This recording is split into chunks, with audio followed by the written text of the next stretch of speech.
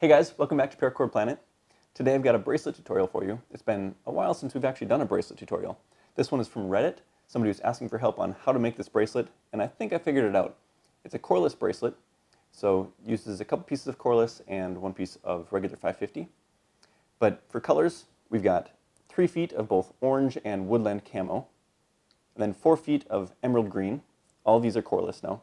And then we have a regular emerald green, about two and a half more feet for the core of the bracelet. So with that, let's dive in. All right, so this is gonna be a knot and loop closure on the bracelet. The one on Reddit used a button, uh, switching it up a little bit from that. The core might be different, but the weave is the same. So this regular 550 cord, we're just gonna fold that in half like we already have it. And we'll be tying a knot in the end of it I'm going to do a diamond knot, but honestly, a simple overhand knot would be just fine too if you find the, the diamond knot too complicated. So for now, we're just going to leave it folded. And we're going to be starting our weave up here. So we've got the middle of our normal paracord as our core. Then we're going to take the coreless emerald green, put that on the back, stack our other two together, the orange and the woodland camo, and put that on the front of the bracelet. These are going to be our center colors that you see weaving back and forth, and this is going to be the base color. So if you're doing different colors, just kind of keep that in mind. And we're kind of doing a cold start here with all three of the ends, so we need to anchor that in place. So what we're going to do is take that green one from the back, bring it down over the top, around the back, up to here, down again. Want to make sure that we don't lose those ends and then kind of snug that down. So pull on all the ends. Our top two colors here are just going straight through, like that. We want those stacked together, like that. So the flat side is it's like that. Okay, so now we can go into our normal Cobra weave. So kind of pull everything tight and this is going to be our cord that goes over the top. So we're going to fold it over this way. So the orange was on bottom. It's just being folded up inside of there. So the orange is now on top. Top, meaning this direction, I guess. And then we're going to take our green cord, keeping that flat, bring it down over the top, around the back, and then up through this colored loop.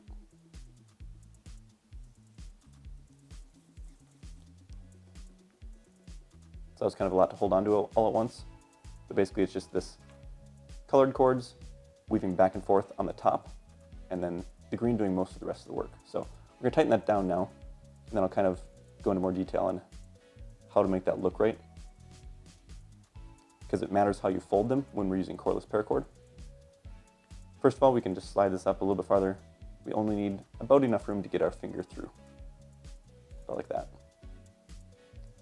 So now, next knot, going from the other side, we're folding this cord over the top again. So that's going to be upright this whole time. So it's, if our bracelet is going this way, these are stacked vertically on top. And this one, we want that nice flat side to be showing on top. And then we'll bend it around this way, kind of a fold there. And bring this other side up through.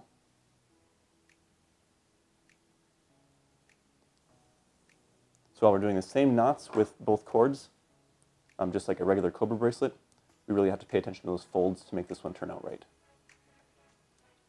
So now, if we flip this around back, on the back side you see our green just laying down flat, which is different from how our stacked ones are sitting upright. So we're going to do a couple more of those knots so you can see how it looks, and then you can check your work against it. So if your work isn't turning out quite like this, it may be because you're tightening it down a little bit uneven. Um, on this one, you really don't want to tighten down the green cord very hard as that'll pull the, the cord into the core of the bracelet and kind of flatten it out. And we do want it to stick upright so that you see both of those colors down the middle. So you can pull these ones pretty tight, but you want to leave this a little bit loose. So making one more knot. You can pull those two colors you know, pretty tight so that it's weaving back and forth across the top. But then we just want to snug this down just enough to keep it in place. If we pull it tighter, then we kind of get it, some unevenness and one color starts to bury the other in the middle. So we'll finish that off and then I'll show you how to do the diamond knot at the end.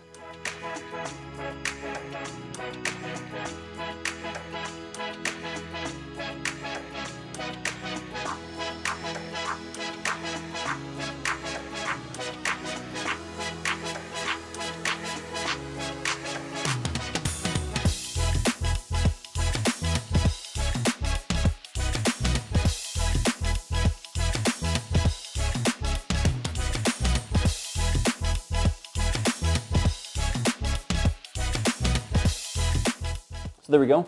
That's enough to fit around my wrist. It's just so that the loop meets the end of the weave there. Um, but you know, feel free to change that up for however you want it to fit. And then I still have some cord here to make that knot.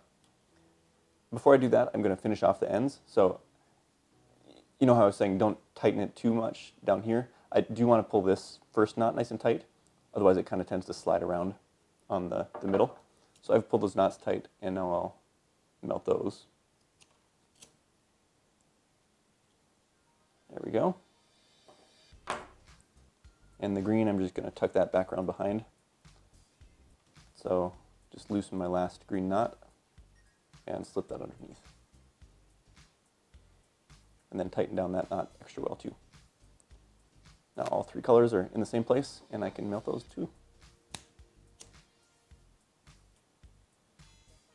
So then for the diamond knot, if you haven't made this before, um, this is probably not a lot of cord to make it in uh, but I didn't want to be too wasteful. You can make the diamond knot ahead of time too, and then just as you're making this, you can adjust where it sits, you know, slide it down to the end of your knot, or to the end of your cord or whatever.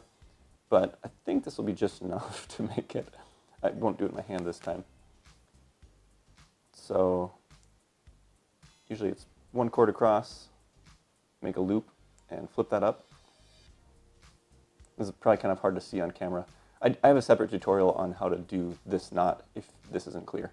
So one cord across, that loop over the top, and this piece of the loop should be going over our working end. Got some twists in there that I want to take care of. There we go. And then taking this longer cord down here, bring it underneath that cord, and then we're just going to tuck it underneath this middle cord here. So over the top of this, underneath the next one, and out on top. So we've got that little pretzel. That's a Carrick bend. I'm going to take it off my fingers. Take this cord. Make sure you go past this cord connecting it to the bracelet, and then up through the middle. We'll do the same one with this cord here.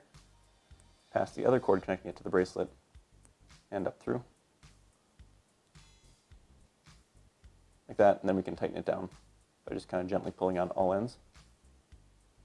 And it's not going to tighten down quite in the right place, so then we're going to have to go back and find where each cord goes through the, the knot and just pull the slack through until it comes out the end.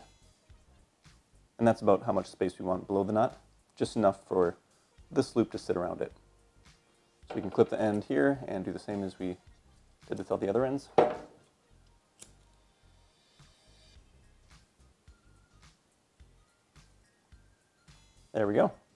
The three color coreless Cobra bracelet.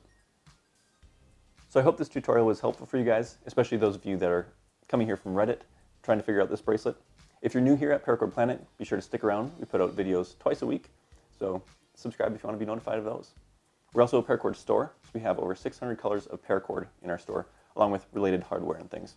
So be sure to check that out if you're interested. We'll put a link in the description. Thanks for watching, guys, and we'll see you next time.